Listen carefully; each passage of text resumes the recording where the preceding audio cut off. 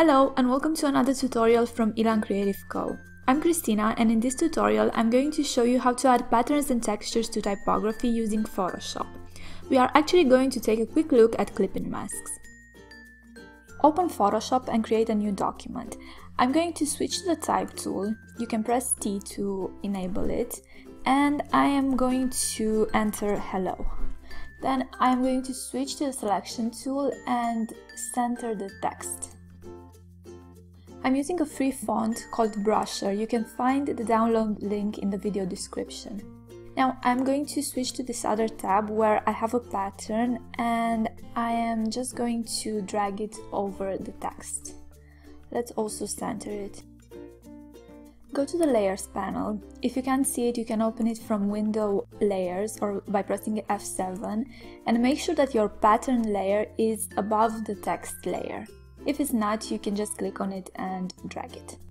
So all we have left to do now is make sure the pattern layer is selected and then go to Layer, create clipping mask or press Alt Ctrl G or Option Command G if you're on a Mac. And that's it, you have your patterned text. Now if you want you can move the text around until you find the best uh, layout. I think I like this one. Now I'm going to hide this layer because I want to show you how to add a glitter texture to a typography.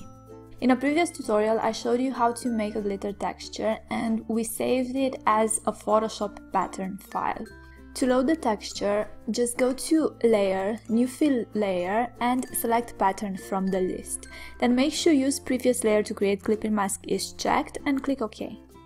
Now you can select your texture from the pattern options. I'm going to select the glitter texture and maybe let's scale it down a bit.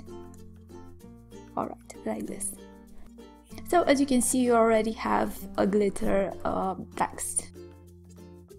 You can use clipping masks to add patterns and textures to typography, geometric shapes or organic shapes like brush strokes. I hope you've enjoyed this tutorial. If you want to see more Photoshop or Illustrator tutorials, please subscribe to my channel or visit my blog. Thanks for watching!